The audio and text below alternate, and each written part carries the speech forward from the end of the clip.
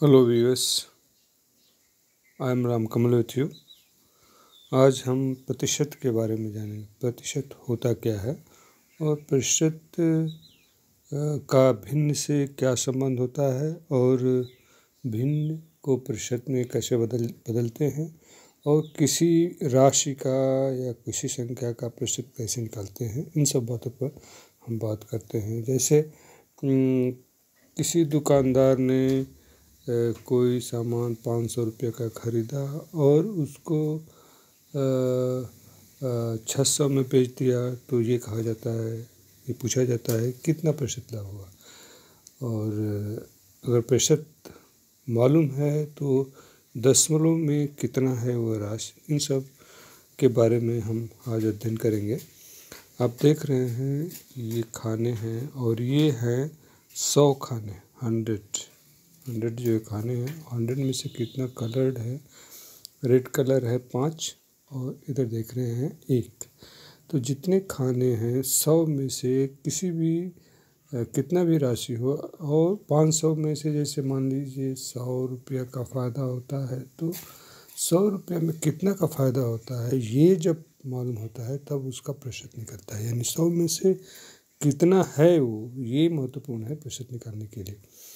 अब जिसे सौ है खाने, उसमें पाँच कलर हैं तो पाँच प्रतिशत हो गया। सौ में से पाँच खाने पर है तो पाँच प्रतिशत। एक खाना अगर येलो है तो एक खाना जो येलो कलर है तो एक प्रतिशत जो है येलो कलर है और पाँच प्रतिशत रेड कलर है। This is the way to understand the percentage जिसी को इंग्लिश में परसेंटेज कहा जाता है। यहाँ पर यहाँ पर आप देखेंगे इसमें पंद्रह खाने हैं, सौ में हैं तो ये पंद्रह प्रतिशत है। यहाँ पर आपको प्रतिशत दिया है, यानी सौ में चार दिया है, चार बटे सौ। चार प्रतिशत प्रतिशत का चिन्ह ऐसे लगता है। और इसका मतलब चार बटे सौ, यानी सौ में चार है। तो इसको भिन्न में कैसे बदलेंगे?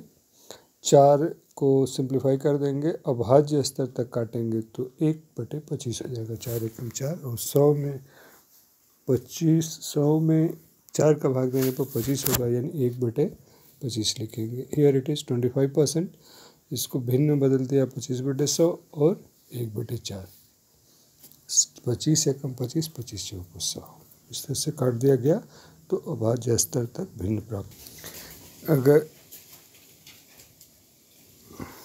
कोई भिन्न दिया हो, जैसे एक बटे चार, उसको प्रतिशत में बदलना है तो सौ का ऊपर मल्टीप्लाई किया, सौ का नीचे मल्टीप्लाई किया तो नीचे सौ आना चाहिए हर स्थिति में। चार से सौ को काट दिया, पच्चीस हो गया, यानी ये हो जाएगा आपका पच्चीस बटे सौ।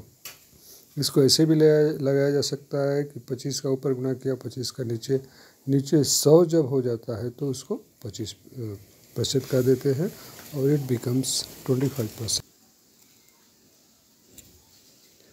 ये देख रहे हैं चौबीस प्रतिशत लिखा हुआ है, इसको भिन्न में बदला, चौबीस बटे सौ हो गया और इसको दशमलव में बदला, दशमलव दो चार दो चार हो गया।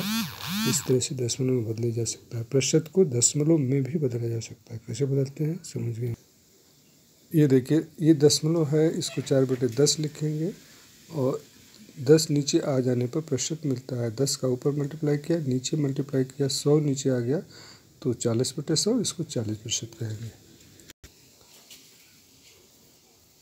यहाँ देखते हैं किसी संख्या का प्रतिशत जिसे पंद्रह बटे सौ यानी पंद्रह प्रतिशत निकाला जा रहा है। इधर देखिए पाँच सौ को पाँच प्रतिशत तो पाँच सौ में पन, गुड़े पंद्रह बटे सौ हो गया और इसको सौ हो गया तो ये हो जाएगा आपका पचहत्तर प्रतिशत। कट जाएगा ज़ीरो ज़ीरो से पंद्रह पचहत्तर प्रतिशत। यहाँ देखिए ये पाँच में से तीन है तो तीन बटे पाँच लिखा जाएगा। उसको प्रतिशत में बदलने बदलने के लिए सौ से मल्टीप्लाई कर देंगे। तो ये हो जाएगा आपका सौ से तीन सौ बटे पाँच यानी सिक्सटी परसेंट इस तरह से किसी राशि में आ, से उसका प्रतिशत निकाला जा सकता है। आज हमने जाना कि प्रतिशत का अर्थ क्या होता है। और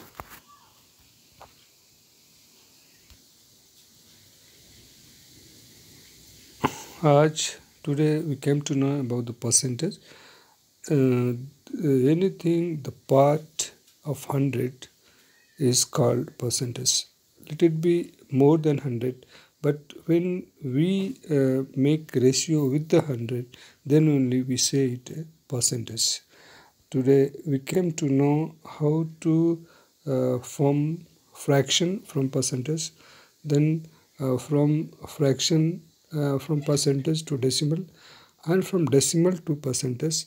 And afterwards we came to know how to calculate some uh, amount or numbers uh, out of some number as a percentage uh, uh, Uh, thank you. Thank you for being with me. Thank you very much